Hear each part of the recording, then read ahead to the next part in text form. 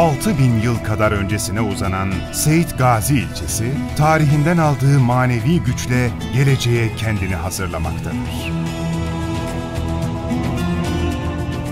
Milattan önce sırasıyla Hitit, Firik, Lidyalıların egemenliğine giren bu yerleşim yerinde, milattan sonra Makedon Krallığı ve Roma İmparatorluğu hüküm sürmüştür.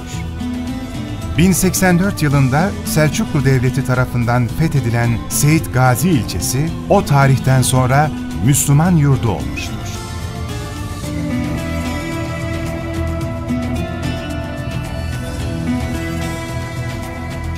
Stratejik bir öneme sahip olan bu ilçe, bağlı olduğu Eskişehir'e 43 kilometre uzaklıkta bulunmaktadır. Doğanın cömert davrandığı Seyit Gazi beldesi, verimli ovalara ve dere yataklarına sahiptir. Tabiatın tüm renklerinin canlı olduğu ilçede birçok doğal güzellik bulunmaktadır.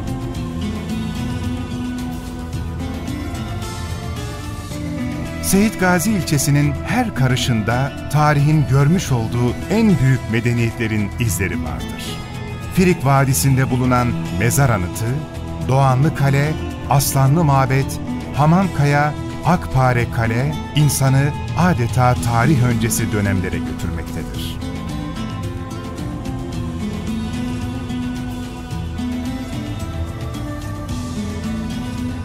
Türk akıncıların fethinden sonra yine bu ilçede İslam mimarisinin en güzel örnekleri yer almıştır. Melik Gazi Türbesi, Şeyh Şücaettin Türbesi, Üryan Baba Türbesi, Himmet Baba Türbesi, Selçuklu Hamamı, Türk İslam mimarisinin en güzel örneklerindendir.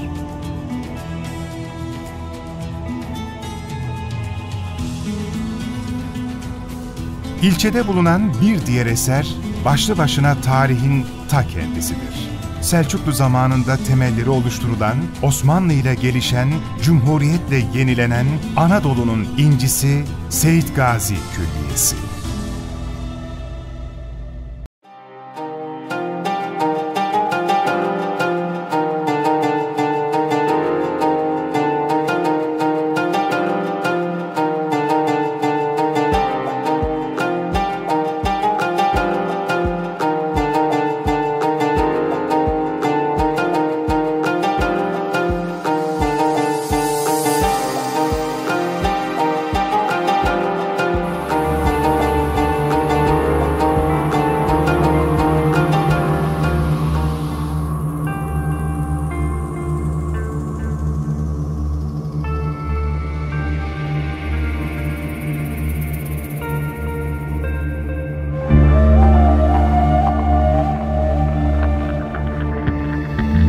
8. yüzyılda Anadolu'ya akınlar düzenleyen İslam ordularının komutanı Battal Gazi'nin sandukasının da bulunduğu bu külliye ilk günkü ihtişamıyla ayakta durmaktadır.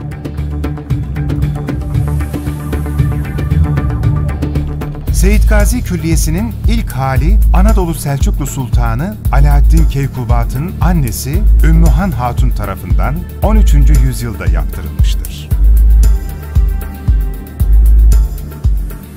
Ümmühan Hatun, o dönemin ihtiyaçlarını göz önünde bulundurarak külliyenin içerisinde türbe ile birlikte bir hamam ve bir cami yaptırmıştır. Seyit Battal Gazi'nin türbesi etrafında şekillenen külliye, yaptırıldığı dönemin klasik mimari özelliğini yansıtmaktadır.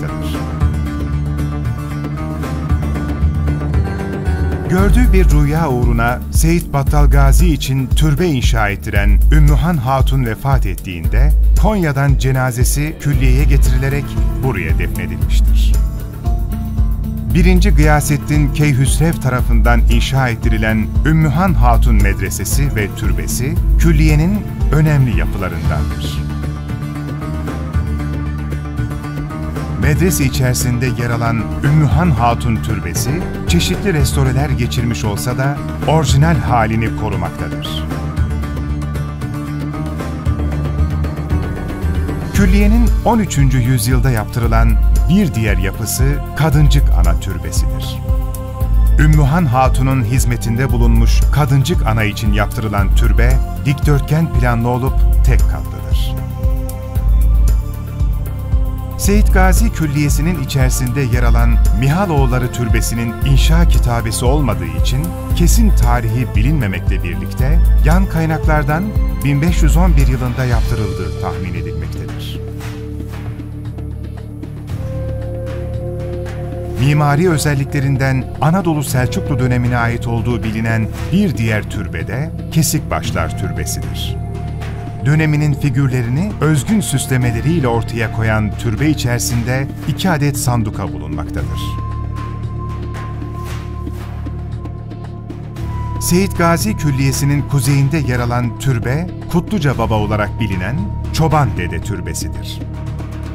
Türbenin Osmanlı döneminde inşa edildiği düşünülmektedir.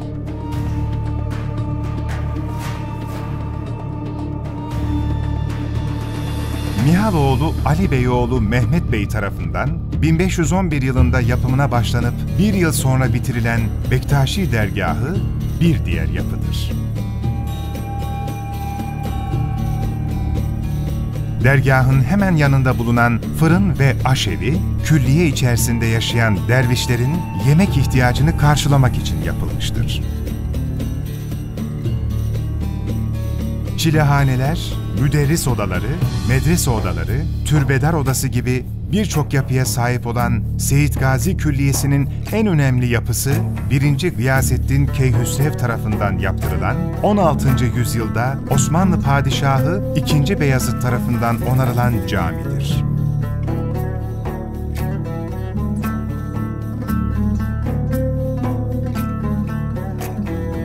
Yüzyıllarca ayakta kalabilmiş bu mekanlar birçok yenileme çalışması geçirmişlerdir. Son olarak 2007 yılında başlayan Eskişehir Valiliği ve Seyit Gazi Kaymakamlığı'nın büyük çabalarıyla bugünkü haline getirilmiştir.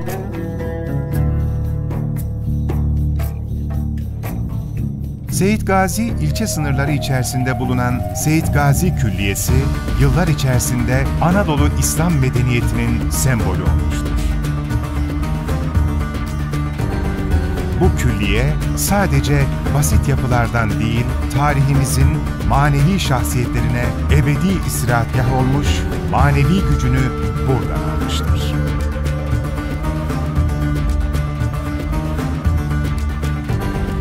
Seyit Gazi Külliyesi, dünya durdukça Türk İslam medeniyetinin simgesi olarak hep ayakta kalacaktır.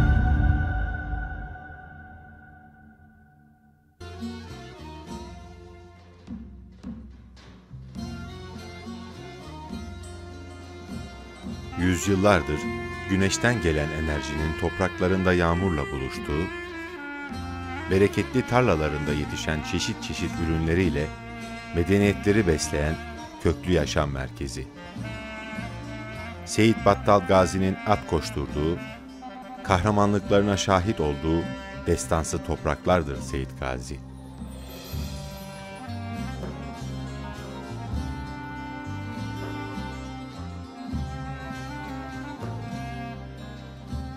Eskişehir'in her yerinde yetişir şeker pancarı ve bal kabağı ama bir başka güzel olur Seyit Gazi'nin verimli ovalarında.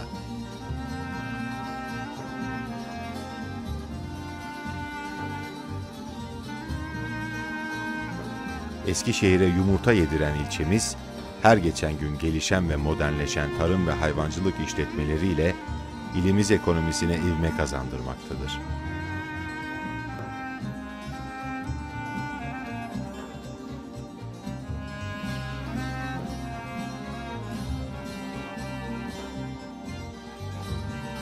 Yaklaşık 590 bin dekar tarım arazisinde bulunan 2700 bitkisel üretim işletmesinde sırasıyla buğday, arpa, yulaf, çavdar, nohut, fasulye, şeker pancarı, haşhaş, ayçiçeği, aspir, mısır, yonca, fi, soğan ve domates üretimi yapılmaktadır.